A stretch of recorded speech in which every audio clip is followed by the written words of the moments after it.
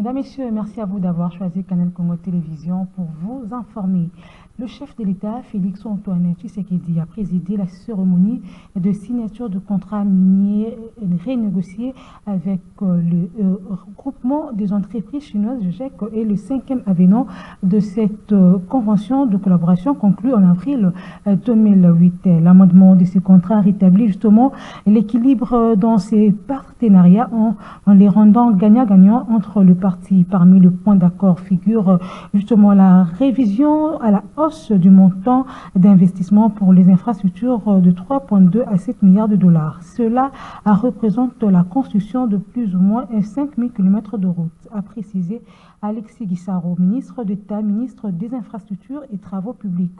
Cet événement euh, consacre aussi la participation, bien sûr, de l'RDC dans le capital de euh, Sikohydro de Boussanga, 60% GEC et 40% RDC. La RDC avait, il faut dire, négocié il y a 16 ans un contrat avec le GEC prévoyant l'octroi de gisements de euh, cobalt et de cuivre en échange de la construction des infrastructures en 2023. Le président Félix Antoine Tshisekedi l'avait jugé défavorable aux intérêts congolais et avait demandé sa révision.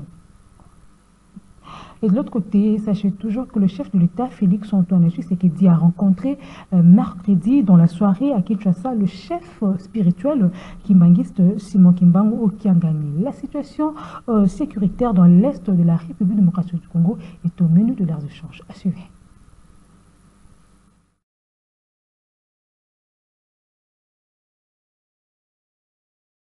C'est en début de soirée ce mercredi 13 mars 2024 que le chef spirituel de l'église kimbanguiste Papa Simon Kimbangu Kiangani a rejoint la cité de l'Union africaine. Une première visite officielle depuis le début de l'année et une opportunité pour le chef spirituel de présenter ses vives félicitations au chef de l'État, Félix Antoine Tshisekedi Chilombo, pour sa brillante réélection à la magistrature suprême.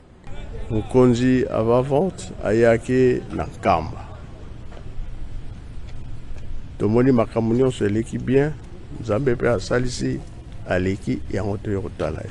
Tokoremercie La situation sécuritaire à l'est du pays préoccupe au plus haut point le chef spirituel de l'église kimbanguiste qui, en bon berger, recommande une attitude de prière à tous ses fidèles pour faire face à cette guerre injuste imposée à la RDC par le Rwanda et ses partenaires. Toza mpe na bandimi mingi awa toyaka kotala bango. E tolobaka tosambela makasi. Makambo eza koleka na mokili na biso tozosepana nango te. Surtout na este bitumba oyo eza kuna toza na esengo likambo wana te. Mpo tobondela makasi nzambe ayokela biso makambo wana esila. Bazali awa bayeba ke likambo oyo président asali na lingomba le 6 avril chome epeye likambo wana epesi lokumu mingi wana tozwi mapamboli Profitant de son séjour de quelques jours à Kinshasa, le chef spirituel de l'église kimbanguiste va procéder à la sensibilisation de ses fidèles pour la construction du mémorial de Kamba ainsi que la célébration avec faste de la journée du 6 avril prochain. 6 avril, une journée déclarée il y a un an, chômée et payée en reconnaissance au combat de Simon Kimbangu et de la conscience africaine.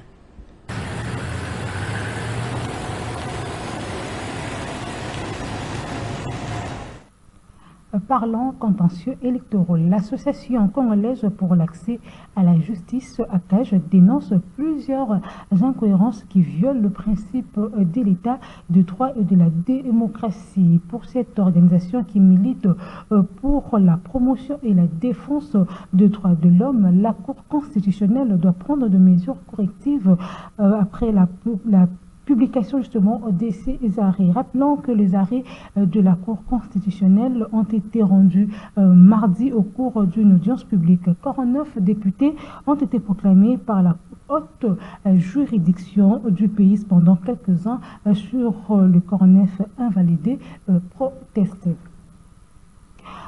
Autre chapitre à présent, la ministre d'État en charge de l'environnement et développement durable, Eve Bazaïba Massoudi, a échangé ce jeudi 14 mars 2024 avec une délégation de South euh, Dakota State University. la collaboration justement entre les universités des Dakota et des Kinshasa était au centre de leurs entretiens. Doudou Montigre et Cynthia Reportage. La ministre d'État en charge de l'environnement et développement durable, F. Bazaïba, a échangé avec une délégation de South Dakota State University, conduite par l'assistant, le vice-président du Bureau des affaires internationales, John Stoff, de l'Université de Dakota du Sud. C'est une collaboration entre South Dakota State University et l'Université de Kinshasa dans le domaine des sciences de géospatiales une opportunité pour les étudiants congolais d'être formés à l'université de Dakota du Sud et à la fin de leur cursus, ces derniers reviendront au pays travailler dans le domaine de la protection de l'environnement. Nous sommes venus ici euh, dans le cadre, par le ministre, dans le cadre de la collaboration que nous avons entre l'Université de l'État de Dakota du Sud et l'université de Kinshasa. Euh, il y a des étudiants qui ont déjà terminé leurs études euh, universitaires aussi. Ils viennent euh, au Dakota pour des études post-universitaires, donc en, sciences géospatiales. Il y a aussi des étudiants qui vont commencer leurs études là-bas au, Dakota, mais tous vont avoir d'abord des cours d'anglais langue seconde qui va leur permettre continuer à il faut signaler que la prise en charge de ces étudiants congolais sera assurée par une société privée américaine qui émerge dans le crédit carbone. Seuls les étudiants de l'université de Kinshasa sont éligibles en poste université en géospatial à l'université de Dakota du Sud. Quant à la Mineta F. Bazaïba, elle apprécie à juste titre cette collaboration entre les deux universités dans le domaine environnemental. Et pour elle, le transfert de connaissances et de technologies en formant les étudiants congolais en géospatial est une valeur ajoutée au pays. Nous aurons nos propres experts en cette matière-là parce que l'expertise euh, dans la science géospatiale, ça coûte excessivement cher, non seulement en termes de ressources humaines, mais même la technologie, l'outil technologique. Nous pensons que euh, si nous avons nos propres experts, nous continuons cette collaboration, nous finirons par collaborer aussi en termes d'outils, avoir euh, nos satellites par exemple, parce qu'on aura déjà euh, ces, bâtiments qui vont habiter les systèmes de surveillance forestière et non seulement les forêts, mais même les tourbières et autres ressources naturelles. Ça, c'est très, très important pour la RDC. Ça nous permettra de mieux connaître notre pays et de mieux protéger notre pays, de mieux gérer notre pays et surtout d'en avoir une plus-value pour faire bénéficier la population congolaise des produits de leurs ressources naturelles. Restons toujours au ministère d'État de l'Environnement pour parler justement de cette audience accordée à la délégation de la Comifac par la ministre d'État Eva Bazaïb Amassoudi. La 20e réunion de partie du partenariat pour le forêt du bassin du Congo qui se tiendra justement en juin prochain était au menu de échanges. de mentir revient. La question de l'organisation de la 20e réunion de partie du partenariat pour le forêt du bassin du Congo, qui se tiendra en juin de l'année en cours, était au cœur des échanges entre F. Bazaïba et la délégation de la Commission des forêts de l'Afrique centrale, COMIFAC conduite par la coordonnatrice nationale de la RDC et le secrétaire exécutif adjoint de la Comifac Cameroun, qui a salué la bravoure de la Mineta pour des actions concrètes qu'elle mène dans la protection des forêts du bassin du Congo et la conservation de la biodiversité. Nous en profitons pour exprimer toute notre profonde gratitude également au gouvernement de la République démocratique du Congo qui a accepté d'inviter euh, les travaux de cette 20e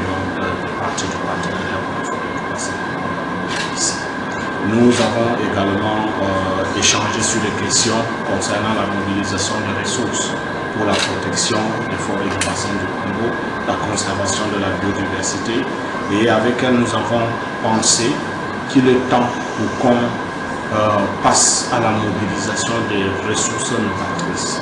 Eve Bazaïba s'est ensuite entretenu avec les caucus des élus députés provinciaux de la Chopo venus solliciter l'implication de son Excellence Eve Bazaïba comme élu national de la Chopo pour la rétrocession de son carbone. Nous sommes venus euh, donc avec une double mission.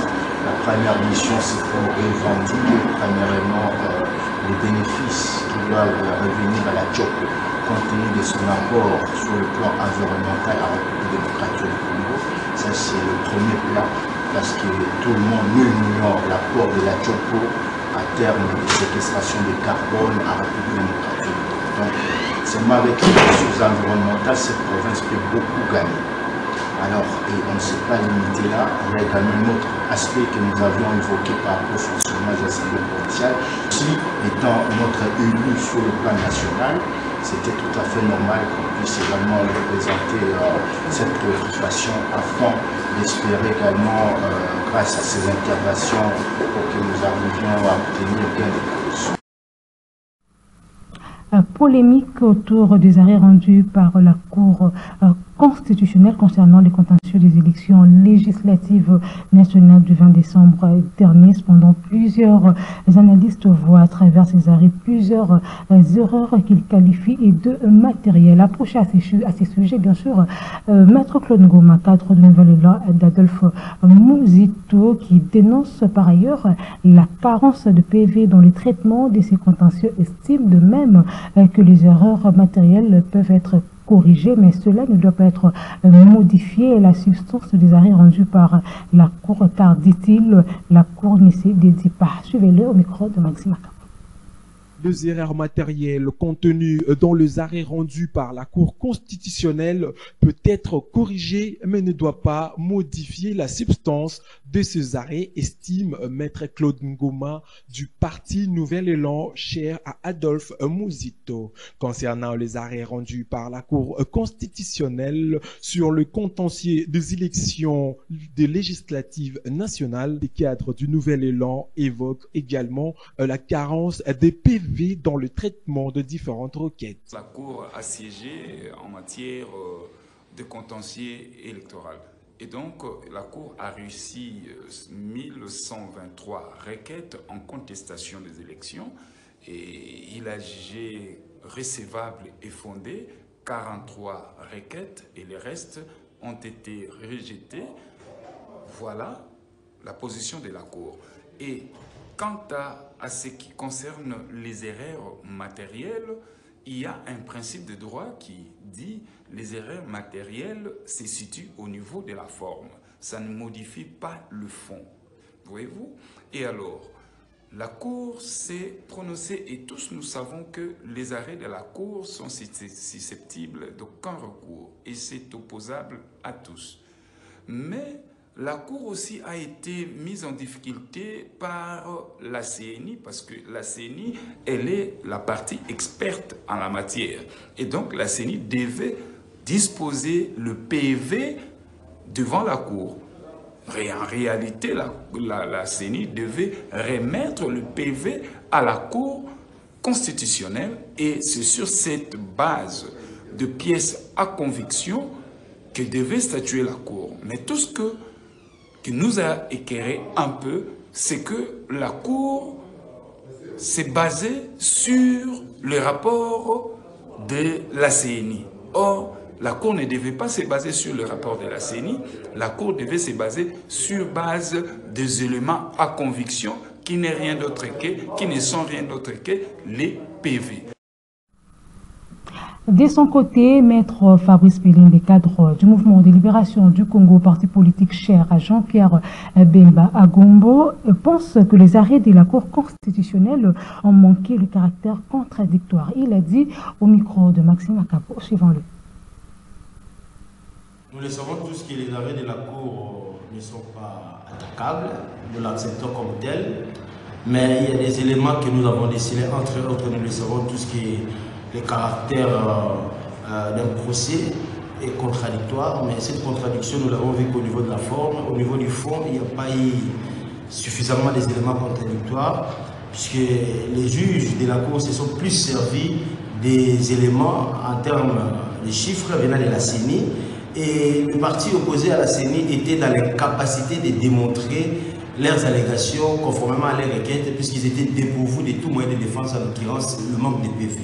C'est une situation qui frise et qui met à mal euh, la partie défenderesse, puisque nous devons le dire tous que la CENI, non seulement cette organisation, exige des réformes bien structurelles, mais il faudrait tenir compte aussi des éléments en termes de moyens de défense pour permettre aux requérants d'être dans la même longueur de, la contradiction avec l'organe qui a organisé les élections. Puisque ce qui est, ce qui est vrai, les élections n'ont pas rencontré l'assentiment populaire soutenu du MLC.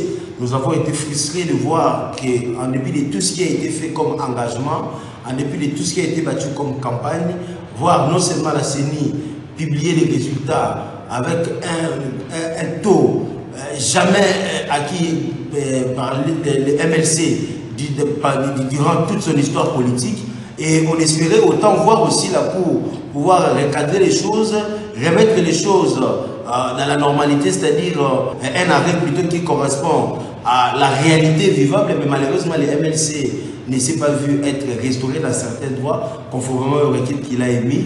Et nous observons cette procédure, mais c'est une procédure si ça continue comme ça, la démocratie va s'effriter et nous serons dans une situation où c'est le plus fort qui gagne. Autre chose à présent, l'avocat du président national du parti ADD Congo Prince Epenge saisit l'administrateur général de l'ANER au sujet du passeport de Prince Epenge. Porte-parole de la MOCA de Martin Fayoulou Oumadidi qui serait bloqué par un agent de l'ANER pour des raisons politiques depuis huit mois. Maître Nico Mengele passe à l'attaque. Suivez ma qualité d'avocat de M. Prince Penge, l'un des opposants radicaux au pouvoir malaki, tant en 2018 qu'en 2023, j'ai saisi l'administrateur général de l'ANER, les conseils spéciaux du chef de l'État en matière de sécurité, ainsi que les ONG des droits de l'homme, au sujet du dossier lié au passeport des Prince Epenge, bloqué depuis le 8 septembre 2023 au niveau du service de l'identification, dirigé par le tout-puissant directeur de l'ANER, Léon Moulaja, qui refuse catégoriquement de libérer les dossiers au fin de l'envoyer à la capture et à l'impression au motif qu'il enquête sur Prince Epenge. Et l'impression qui s'en dégage est que Epenge n'a aucun droit d'avoir les passeports sous ces régimes dictatorial qu'il critique tant.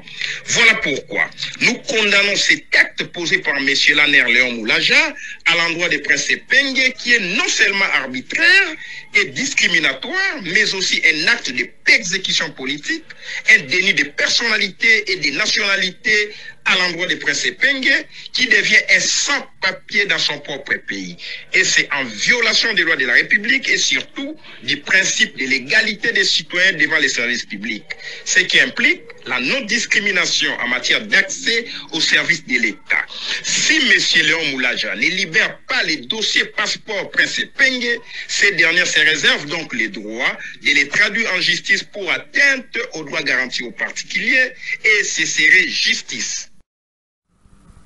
En santé, l'association de malades de reins sollicite la prise en charge gratuite de la dialyse auprès du gouvernement congolais. Ils ont réitéré cette demande lors d'une marche organisée ce jeudi 14 mars 2024. Suivez. Le mémo a trois axes. L'axe prévention, parce que nous avons beaucoup incité sur la prévention. On il faut prévenir les maladies par la sensibilisation. La sensibilisation demande des moyens. Il faut organiser euh, les, dépistages précoces, volontaires. Il faut des moyens. Il faut de vastes campagnes pour dire aux gens que le maladie des reins existe. On peut facilement euh, les soigner si on les prend en charge à temps. Il y a l'axe accompagnement où euh, si quelqu'un est malade, il doit être soit admis à des traitements de suppléance, la dialyse et la greffe des reins. Pour la dialyse, vous connaissez la dialyse coûte cher chez nous. Euh, nous avons posé le problème au, délégué de, de son excellence, Monsieur le Président de la République, et qui nous a dit qu'en tout cas, dans le cas de la couverture santé universelle, c'est une question qui s'est...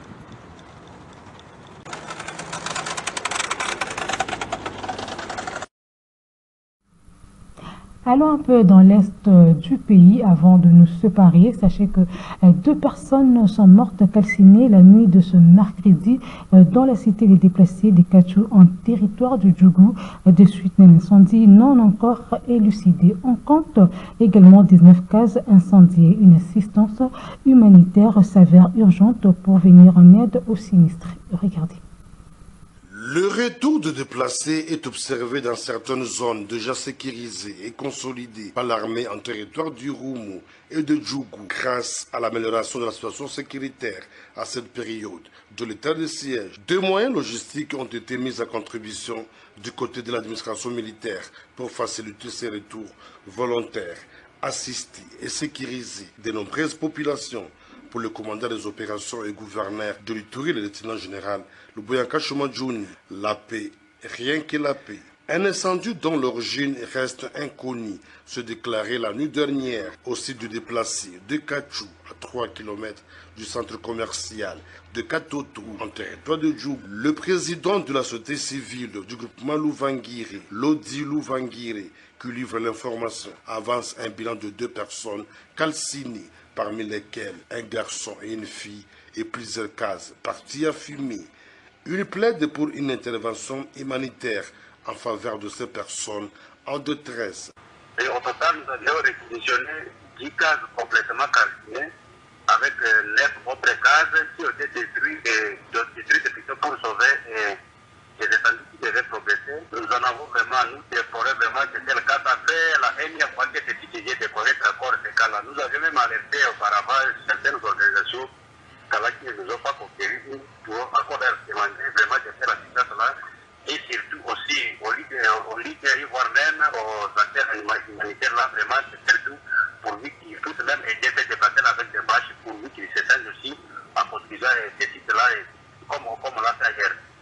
Pour rappel, le dernier cas en date remonte du mois dernier.